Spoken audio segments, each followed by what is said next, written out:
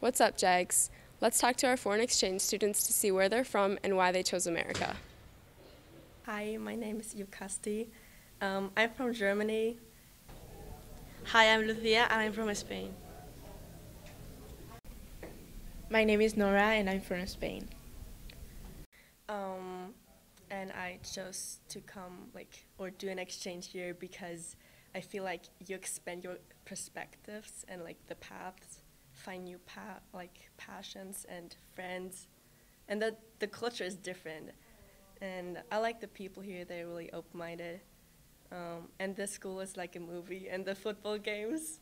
So yeah, it's really fun. I like it.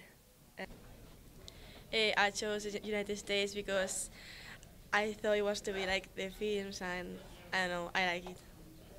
I chose America because I've seen it in a lot of movies and everyone talks about the American dream, so I want to live that American dream.